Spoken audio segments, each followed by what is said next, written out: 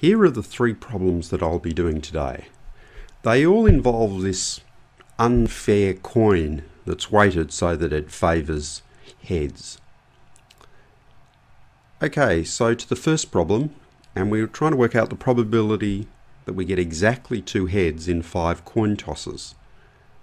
So I've started by putting here a few possibilities of the way we could get uh, exactly two heads in five coin tosses. So here are two of them. We could get head, head, and then three tails, or we could get head, two tails, a head, and a tail. Uh, and, and then there are others, other possibilities. So let's just to start with focus just on the first one, the two heads, and then we get three tails.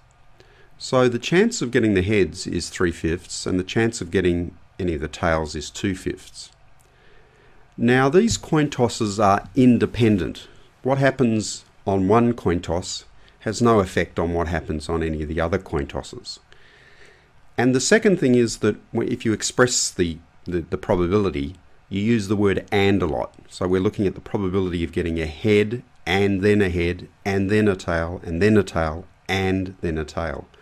So these two ideas of independence and this word and mean that we should multiply these probabilities together.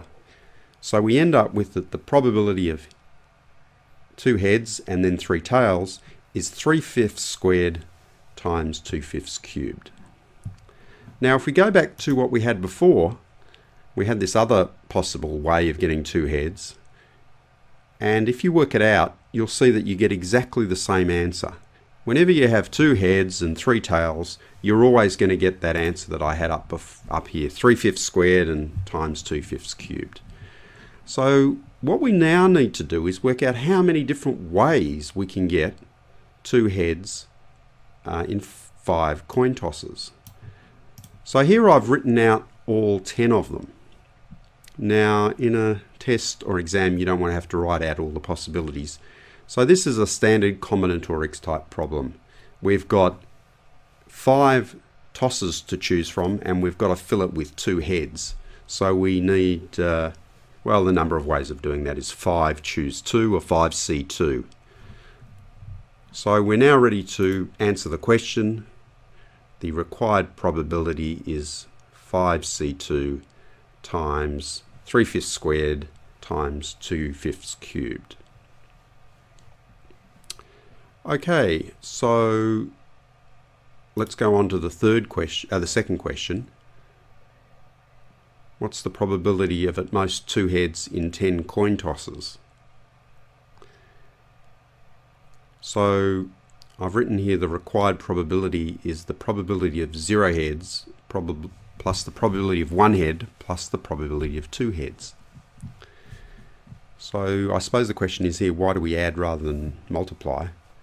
So here we're talking about mutually exclusive events.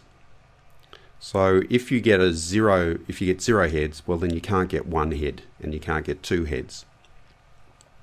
So these are mutually exclusive events. And we tend to use the word or. So we say what's the probability of getting zero heads or one head or two heads.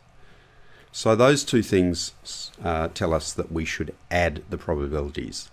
So I've worked out the probabilities in the way I did for question one but now we've got 10 coin tosses and we've, I've worked it out for zero heads, one head and two heads. And I've added them up and if you want, you can express the answer in decimal form to as many decimal places as you want, which I've done there. Okay, so on to the third question. So what's the probability that we get more than one head in 10 coin tosses? So if we're going to do this the way we did the question two, we just say, well, the required probability is the probability of two heads plus the probability of three heads plus the probability of getting four heads plus all the way up to the probability of 10 heads. Now that's quite a lot to work out with all the fractions and the binomial coefficients. And if you need to work it out in decimal form at the end, that's even more work. So there's a shortcut that you should keep in mind, which will help you.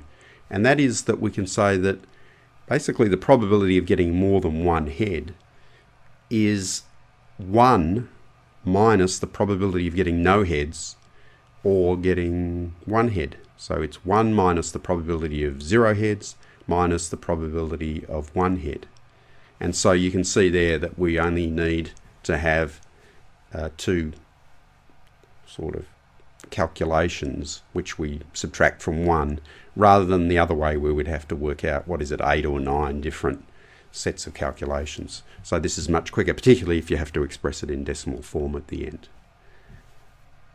So that's it for binomial distributions made easy. I hope you found it useful